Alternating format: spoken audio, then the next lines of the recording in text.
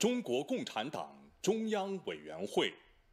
中华人民共和国全国人民代表大会常务委员会、中华人民共和国国务院、中国人民政治协商会议全国委员会沉痛宣告：中国共产党的优秀党员，久经考验的。忠诚的共产主义战士，杰出的无产阶级革命家、政治家，党和国家的卓越领导人。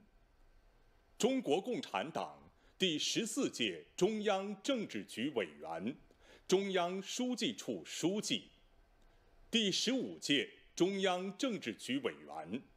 第十六届、十七届中央政治局常委。国务院原副总理，第十届、十一届全国人民代表大会常务委员会委员长吴邦国同志，因病医治无效，于二零二四年十月八日四时三十六分在北京逝世，享年八十四岁。吴邦国同志，一九四一年七月生，安徽肥东人。他青少年时期就热爱祖国，刻苦学习，追求进步。一九六零年至一九六七年，在清华大学无线电电子学系电真空器件专业学习。一九六四年四月，加入中国共产党。一九六七年起，历任上海电子管三厂技术员、技术科科长、党委副书记、革委会副主任、副厂长、厂长；上海市电子元件工业公司副经理；上海市电真空器件公司副经理；上海市仪表电讯工业局党委副书记。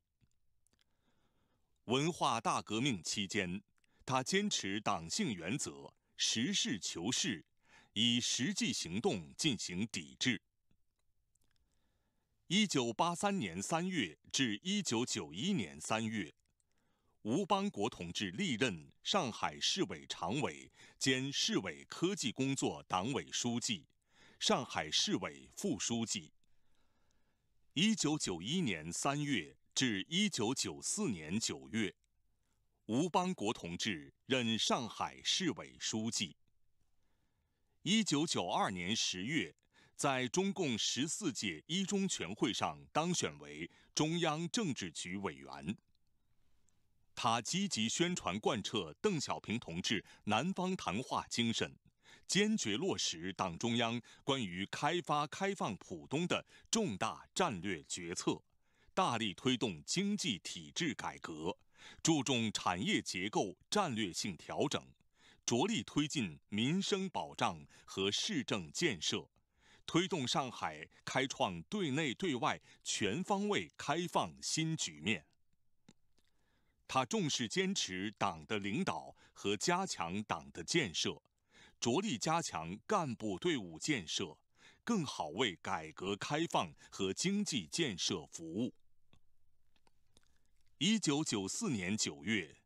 吴邦国同志在中共十四届四中全会上增补为中央书记处书记。一九九五年三月，任国务院副总理，期间兼任国务院三峡工程建设委员会副主任、中央大型企业工委书记、中央企业工委书记等。他坚持社会主义市场经济改革方向，正确处理改革发展稳定的关系，推动国有大中型企业改革和脱困三年目标如期基本实现，加快现代企业制度建设，从战略上调整国有经济布局和改组国有企业，加强再就业工作和社会保障体系建设。为深化国有企业改革做了大量卓有成效的工作。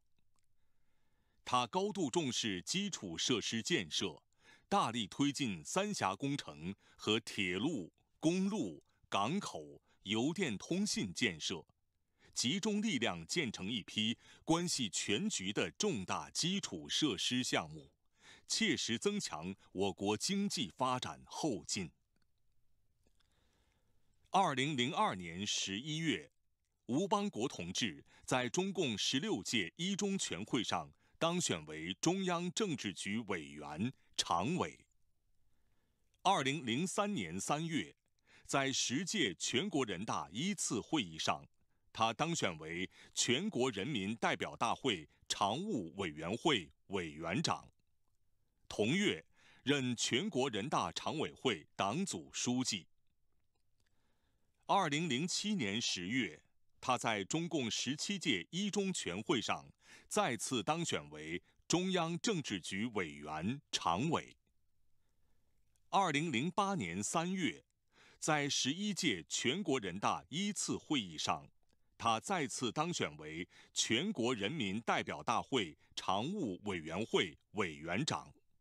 同月，任全国人大常委会党组书记。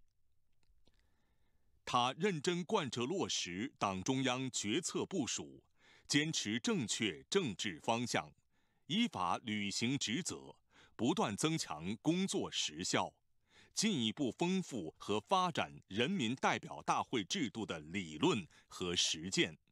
为发展社会主义民主、健全社会主义法治作出重要贡献。吴邦国同志。是中国特色社会主义民主法治建设的重要领导者。在党中央领导下，他将立法工作作为全国人大及其常委会的首要任务，坚持科学立法、民主立法，适应新形势制定修改相关法律，集中开展法律清理工作。他担任中央宪法修改小组组长，组织起草了宪法修正案草案，并由十届全国人大二次会议通过。他主持制定修改《反分裂国家法》《物权法》等一系列对中国特色社会主义事业发展具有重大影响的法律，为推动形成中国特色社会主义法律体系。做出重要贡献。他强调，中国特色社会主义法律体系是动态的、开放的、发展的，必须随着中国特色社会主义实践的发展而发展。他强调，人大工作必须坚持党的领导，人大各项工作都要有利于加强和改善党的领导。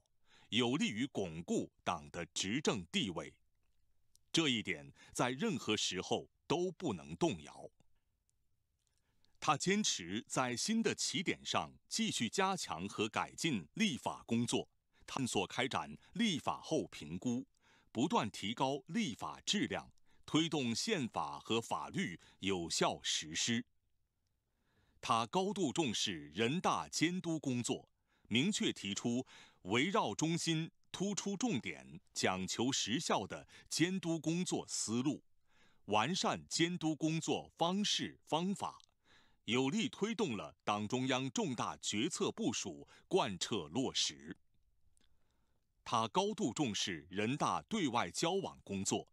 坚持人大对外交往服从服务于国家外交大局，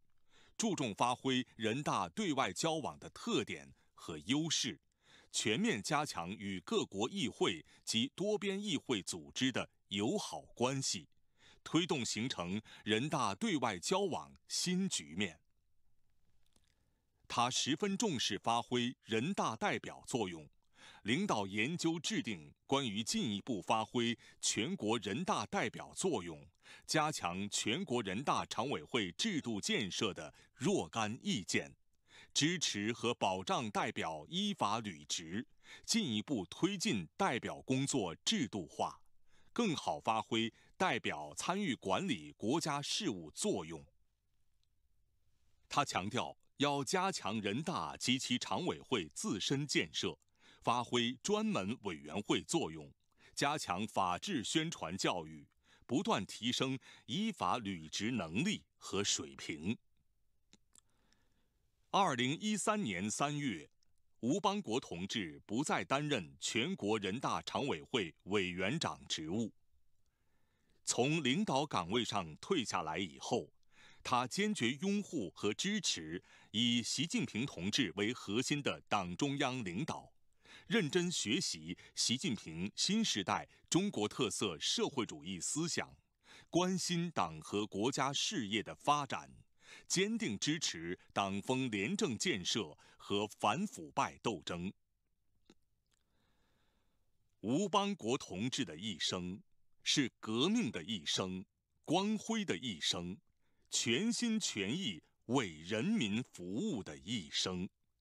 是为共产主义理想、党和国家事业不懈奋斗的一生。他的逝世，是党和国家的重大损失。我们要化悲痛为力量，学习他的革命精神、崇高品德和优良作风。更加紧密地团结在以习近平同志为核心的党中央周围，